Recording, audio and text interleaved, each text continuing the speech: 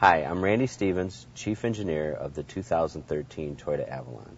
Today we'd like to introduce you to one of our technologies that we'll be introducing in 2013, which is in-car wireless cell phone charging. We're really excited to see our customers' reaction to this new first-in-the-world technology. Now, one of the new features on the Avalon is the electronics bin, or e-bin as we call it.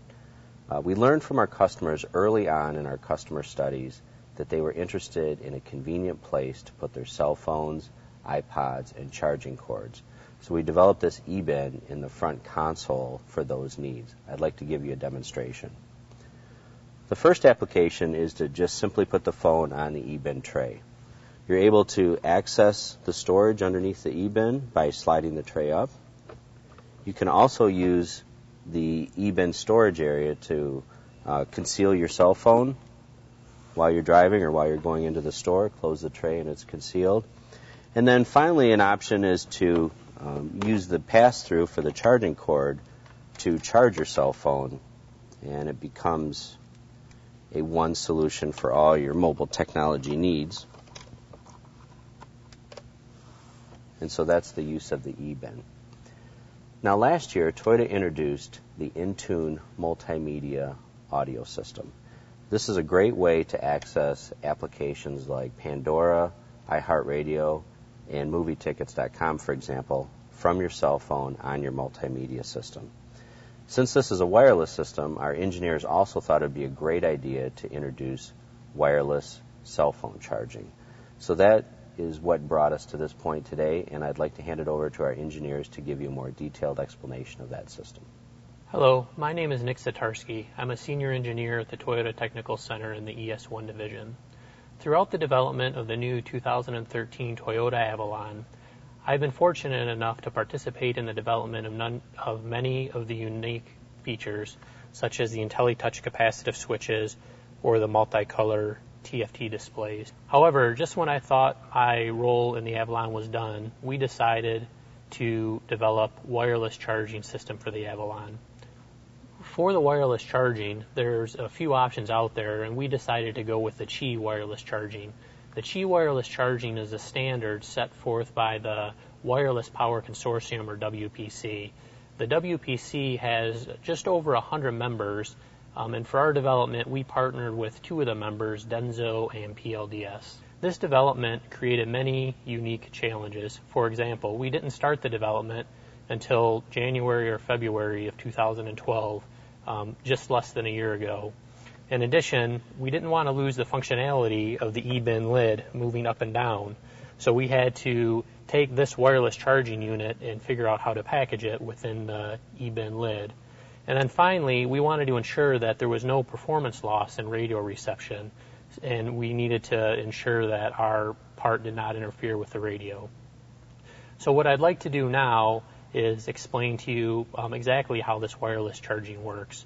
So we have a transmitter which is in your, your e-bin lid, and what this transmitter does is it creates an electromagnetic field that travels through the air and gets coupled to the receiver, which is in your cell phone.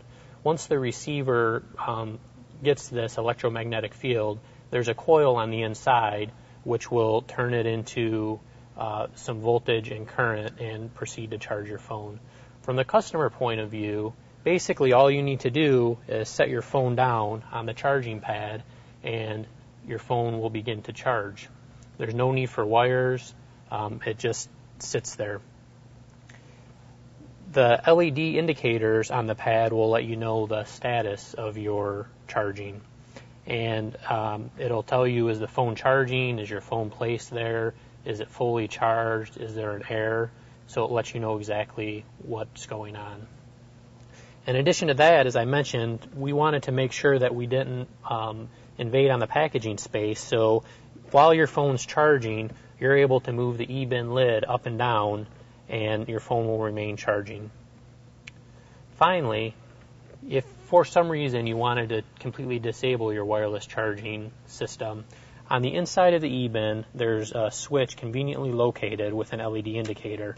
You would simply push the switch, the LED indicator would turn off, and then now you know that your wireless charging is disabled. Hi, my name is Sergey Gage. I'm an engineer for Toyota Technical Center ES1 division, and I will demonstrate the Avalon's wireless charger compatibility with a Qi-enabled phone.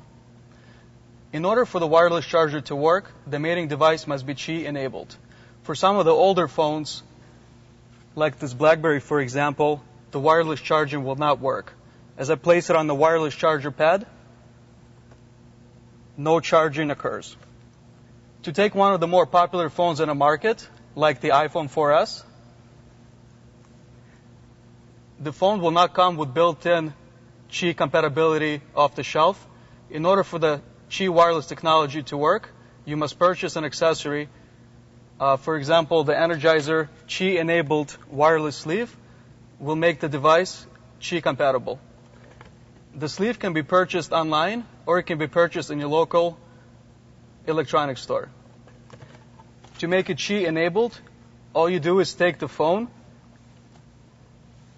and put it inside of the sleeve like this.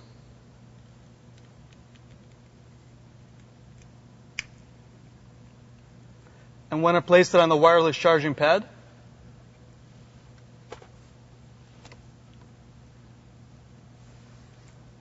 the phone begins to charge. Another popular phone on the market is the Galaxy S3. This phone does not come with built-in Qi compatibility. Similar to the iPhone, to make it Qi enabled, you must purchase an, an accessory. So for this phone, there's an available Zens case, which will make it Qi compatible. The Zens case can be purchased online by searching for Zens Qi compatible back cover for Galaxy S3. To install the back cover to the Galaxy S3, all you do is take the existing, existing back cover off and put the Zens back cover onto the phone, like so.